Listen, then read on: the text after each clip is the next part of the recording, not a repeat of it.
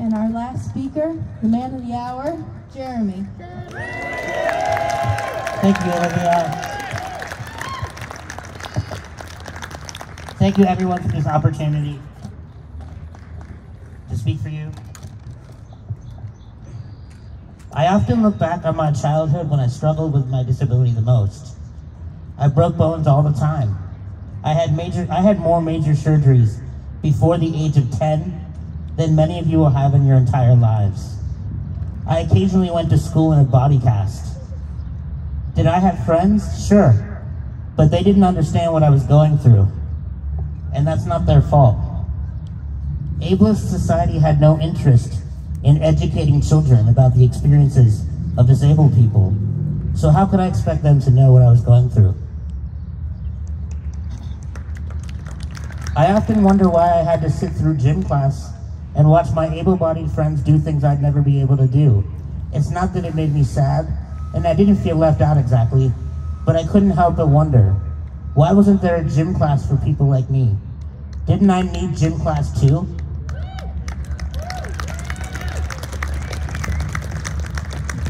Why did my parents have to take it upon themselves to provide a wheelchair lift for my high school stairs? Why wasn't there already a lift there? If you were to ask me, Jeremy, were you a happy child? I'd say yes, I was happy because I grew up with a loving family who encouraged me to unabashed, unabashedly be myself and to not let my disability hold me back. But the truth is, I would have been happier if the rest of society had been as understanding to my needs as my family was.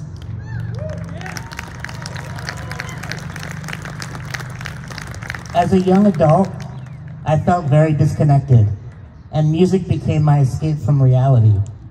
I chose to ignore my disability and my limitations because thinking about it was too stressful, and I also didn't want to burden others with my woes. I just wanted to be happy and hang out, to feel like I belonged. So 18 years ago, I moved from Pennsylvania to Northampton, Massachusetts with my best friend and my bandmate so that we could pursue our musical goals. We played any and every show we could get.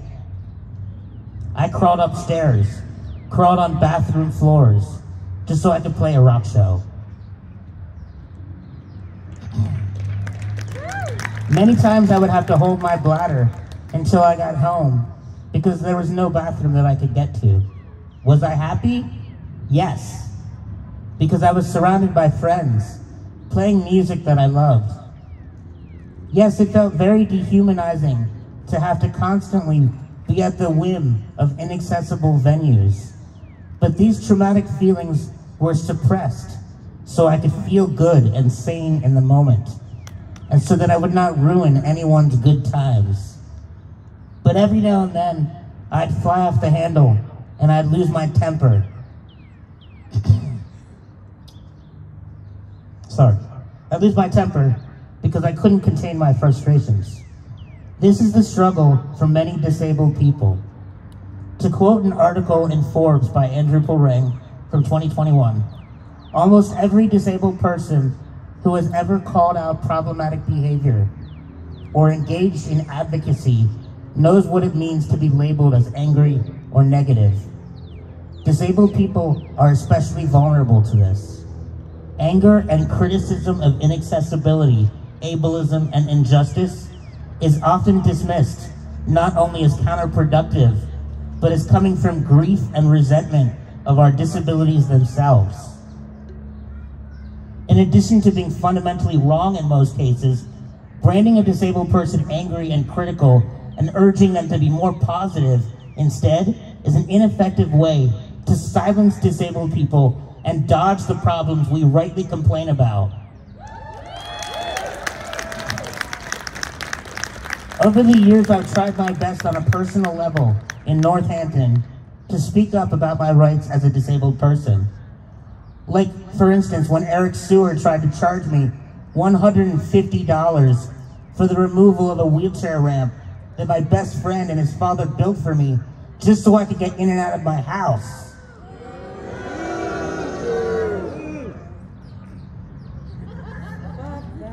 Exactly.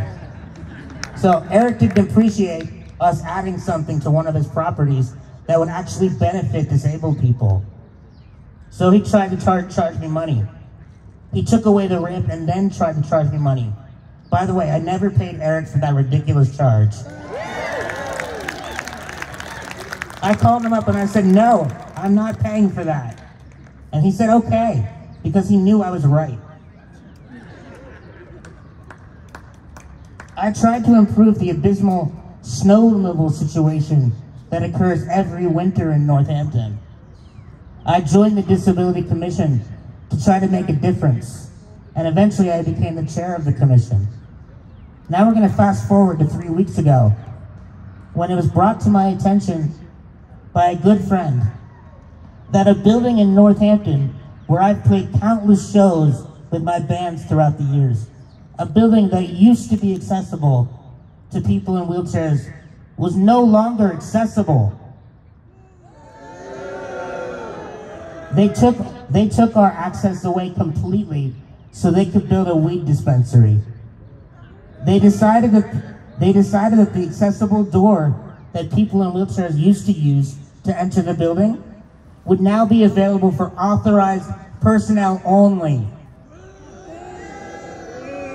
And they ripped the blue wheelchair symbol down off the door, doubling down on their decision to take our access away.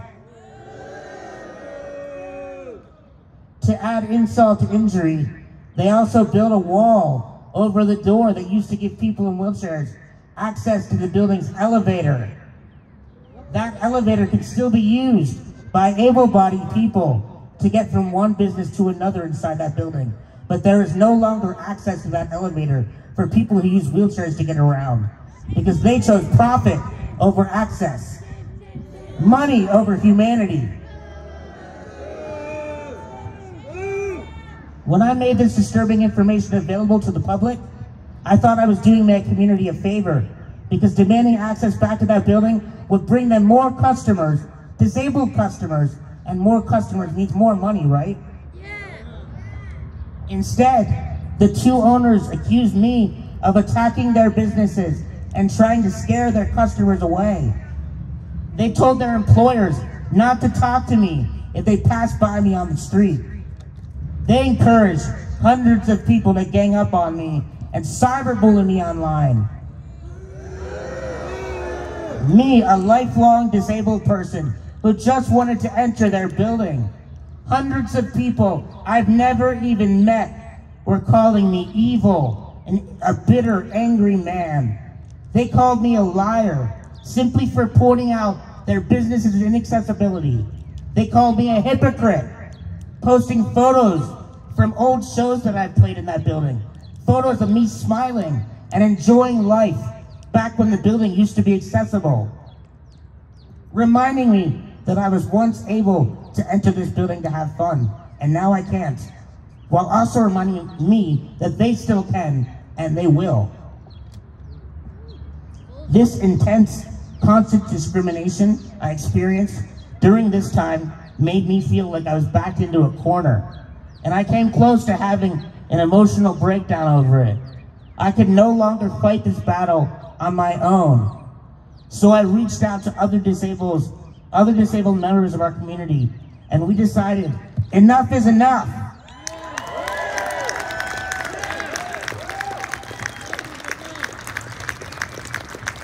Ableism is discrimination against people with disabilities, and it's time to flip the script.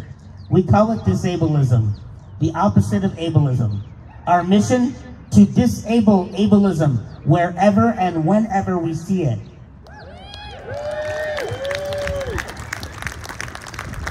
This ableist language is designed to shut down ableism immediately while offering love and forgiveness. We are not here to attack or make anyone feel bad. We are simply asking our able-bodied allies to listen to us, to see, to see the struggles that we disabled people endure every single day of our lives. Share that burden with us share our struggle with us. We are often viewed as sad or angry in our moments of distress, But I'd like to let you in on a little secret. We are happy people with dreams and ambitions, just like our able-bodied loved ones. Is it so wrong for us to ask to be able to go up to the bar so we can have a drink with you? No, it's not. Is it so wrong to ask for one table that is low enough for a person in a wheelchair to sit at so we can sit with you? Next time you go to a restaurant, like say the Dirty Truth, notice how there is not a single table inside their restaurant for a person in a wheelchair to sit at. Not a single table. We are here today to demand one table. We'll take more, but one is fine. Is it too much to ask for safer sidewalks and safer curb cuts? No. Disabled people are, are often injured on our sidewalks. This has to change. We are exhausted and tired of being treated like we are Debbie Downers just because we want to feel welcome in our city. This is our city too. We hope that the disableist movement we've started today will one day grow and branch out to other cities, other states, and maybe someday the world. But we have to start here, my friends. If we can't change our immediate surroundings, how are we supposed to change the world? Thank you. Coming up next, we're going to listen to some music by uh, Philip Philip Price and Flora Reed from the Winter Pills, and Melissa Nelson on cello. Enjoy, everybody. Thank you for coming.